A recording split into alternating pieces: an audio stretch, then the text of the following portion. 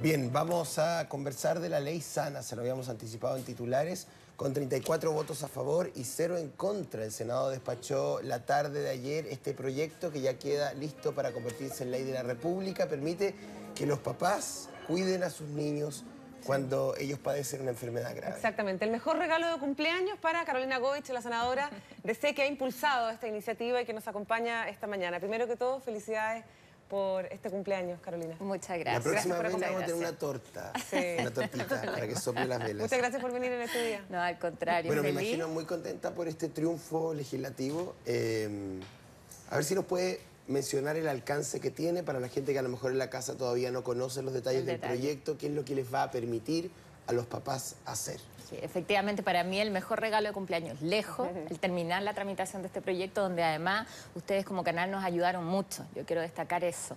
Eh, y también para las mamás, para los papás, el mejor regalo de Navidad, porque va a permitir que papás y mamás de hijos eh, menores de 18 años que tienen cáncer o enfermedades graves, están en la etapa terminal o se están haciendo un trasplante, puedan tener una licencia pagada, es decir, 90 días el papá, 90 días la mamá, eh, que va a dejar de trabajar y va a seguir recibiendo su sueldo. Perdón, ¿funciona de la misma manera como si la licencia fuera personal? Exactamente, de la misma manera. De la misma manera, pero eh, no puede contabilizarse para declararse lo incompatible, que es hoy día una ley que también estamos tratando, o sea, un, un artículo que estamos tratando de cambiar, porque en muchos casos en el sector público después de seis meses te pueden echar. Y una licencia por cáncer dura seis meses. Ahora, yo creo que es una ley maravillosa. Por eso O sea, un 90 días ejemplo se- de se política combina entre papá y pública. mamá. Claro, y se pueden traspasar los días entre ambos. Se pueden Ahí ir lo dejamos a decisión de la familia, porque Sí. pasa muchas veces, lo vivimos en Magallanes, que el papá tiene que quedarse con un hijo y la mamá tiene que trasladarse con el otro para tratamientos largos, se pueden tomar cada 15 días. ¿Hay un tope para el pago de esas licencias? Como Eh, ocurre, por ejemplo, con el postnatal. El tope habitual, eso es parte de la seguridad Es lo mismo social, que el tope habitual. Perfecto. Pero además, en el caso de la etapa terminal, esta licencia no va a tener tope de días.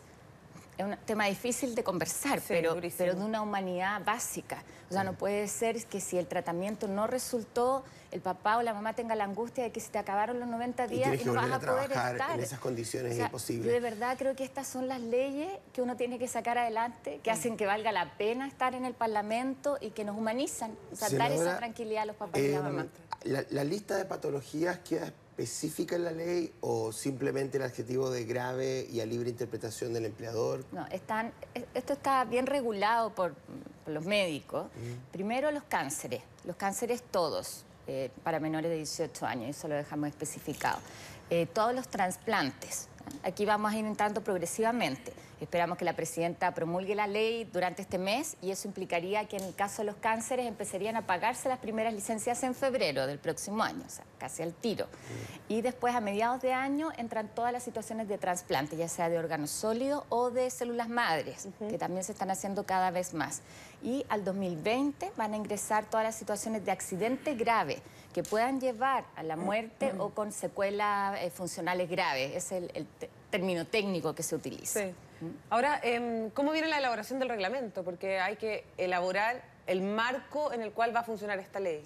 Partiendo con cáncer es muy simple, porque además están en el auge, hay todo un sistema que, que además en esto ha contado con, con todo el compromiso del Ministerio del Trabajo, ha estado la ministra detrás y yo quiero destacar eso, entonces lo único que quieren es empezar a implementar la ley rápido, con mucha celeridad, porque entienden que detrás hay una familia que está viviendo una situación compleja, hay un niño que necesita además eh, darle la mano a su mamá o a su papá durante la quimioterapia. A mí eso me alegra mucho porque aquí de alguna manera estamos partiendo con un proyecto que ustedes saben yo he impulsado, que es la Ley Nacional de Cáncer, que lo que busca es establecer que el cáncer no solamente requiere de quimioterapia, de radioterapia, sino también un apoyo a la ¿Y familia, una mirada más influye en la integral. recuperación de un niño este apoyo familiar? O sea, que entrega la ley. es clave, es clave. El que un niño pueda estar con su mamá o con su papá durante el tratamiento. Pensemos, eso es importante para cualquier persona, Sí, claro. pero todos los elementos de salud mental, o sea, de, de ánimo para un niño, son fundamentales en un tratamiento. Bueno, senadora, no puedo dejar de preguntarle por otro tema, porque venimos saliendo de una elección presidencial. Me imagino que usted fue una interes- interesante observadora de lo que pasó el día domingo. Me gustaría conocer su diagnóstico. Sí, bueno, vamos a terminar mandándole un beso y un abrazo a todas las oncomamás. Eh, déjame Sí. terminar con Sí, eso sí. porque ese trabajo en conjunto hoy día se ve premiado. Y sin duda fui actora durante la primera vuelta y creo que hoy día trae un resultado que es una derrota. Y yo quiero partir diciendo eso, una derrota, algunos dicen derrota política, electoral, derrota, a todas luces. Eh, creo que teníamos razón en lo que planteamos durante la primera vuelta que hay un electorado más moderado, algunos dicen un electorado de centro, que lo dejamos sin alternativa. Eh, y ahí yo espero que también se asuman responsabilidades, que se haga la autocrítica. Eh, es muy duro que por segunda vez un gobierno no pueda mantenerse en el poder. ¿Su partido ya hizo esa autocrítica? Eh, no, aquí queda tiempo, sin duda. Y la democracia cristiana también, o sea, el resultado electoral que tuvimos como partido en parte fue por las propias prácticas. ¿Pero usted cree que hay votos de la democracia cristiana que permitieron que Piñera hoy día llegue a la moneda? O sea, yo creo que hay votos no solo de la democracia cristiana, probablemente de todos los partidos, eh, y más que de los militantes, de un electorado que nosotros dejamos de representar. Y eso lo dijimos durante la primera vuelta. La gente no quiere la polarización, no quiere la izquierdización que veíamos. Quiere cambios, por supuesto, que son fundamentales en nuestro país, pero los quiere con acuerdo, eh, los quiere con gradualidad, los quiere con esta mirada que es más convocante y de mediano plazo. ¿Siente usted que el, el gobierno ha mirado al techo luego de esta derrota, como dijo ayer Gabriel Silver? O sea, a mí me encanta escuchar algunas eh, camaradas que hoy día repiten el discurso que dijimos durante la campaña y que en su momento no estuvieron muy activos. Yo quiero decirlo con toda claridad. ¿Como Y el diputado eh, Silver? Por ejemplo, y eso es parte de lo que yo espero que la democracia cristiana intern- internamente también analice. ¿El progresismo Pero- con progreso también le pasó la cuenta, pero usted, yo creo que es, es- es evidente que aquí hay una responsabilidad también en la conducción política por parte del gobierno. Eh, en eso efectivamente no se puede mirar para el techo. En, en términos concretos, eh, un, un problema de conducción política, eh, ¿cuál es la señal de aquello? eh, un problema de conducción política tiene que ver con efectivamente cómo nosotros asumíamos errores del gobierno, errores en el trabajo que se hizo. Siempre lo dijimos, más que lo que hacíamos en las reformas es el cómo se hizo. Porque la conducción política uno pe- pensaría, no sé si usted está de acuerdo conmigo, pero que es responsabilidad de la cabeza del gobierno, que es la presidenta. O sea, aquí hay un equipo. La O presidenta lo encabeza y está el equipo detrás. Mira, y me sorprendió no ver a los presidentes de partido al lado de Alejandro Guillé al día siguiente. O sea, eso no se hace. Eh, hay cosas que son de esencia en política y se asumen también las derrotas. Eh, y esto lo digo además habiendo asumido yo misma personalmente en mi partido. Entonces, ahí hay una autocrítica que hacer. Eh, a mí me sorprende algunos que al día siguiente hablan de la unidad y uno dice, ¿la unidad sobre qué? Eh, Precisamente ahí quería ir al futuro de la democracia cristiana. La nueva mayoría se acabó, se acaba el 11 de marzo. no hay Eh, duda que se terminó. se terminó. Sí, se terminó y como proyecto político fracasó.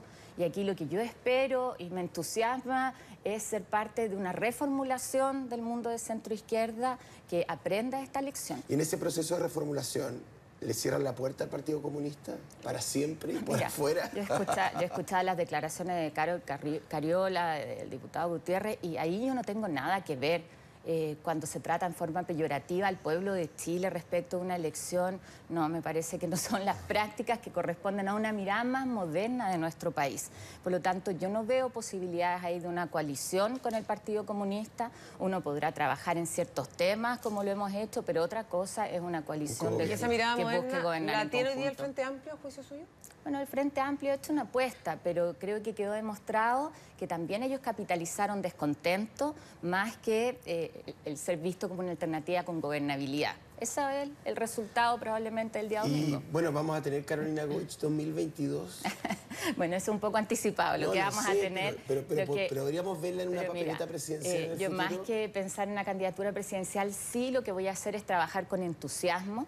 Me alegro mucho de que eh, el presidente hoy día electo, Sebastián Piñera, haya tomado parte de mis propuestas, la Ley Nacional del Cáncer, y vamos a estar ahí como lo hicimos con el postnatal, como lo hemos hecho ahora con el SANA, siendo la mejor oposición. Y eso trabajando, ¿Oposición constructiva, por supuesto, ser la mejor oposición es ser una oposición vigilante, pero también constructiva. Y en temas como el auge del adulto mayor, la Ley Nacional del Cáncer que los tomó Sebastián Piñera, o los temas de fortalecimiento de la educación técnica, vamos a estar ahí colaborando. O como lo decía ayer Gabriel Boric, en materia de infancia, ojalá el presidente hoy día tome eh, el planteamiento que yo hice durante la campaña de un acuerdo nacional en materia de infancia. ¿Le O sea, para eso vamos a estar. algún DC en el gabinete de Sebastián Piñera? Mira, cuando uno es oposición no participa del gobierno. Y ahí es donde nos ha dejado la ciudadanía. Senadora, no le puedo dejar de preguntar por un tema un poquito más personal. Tenemos que ir cerrando la entrevista por la salud de su marido.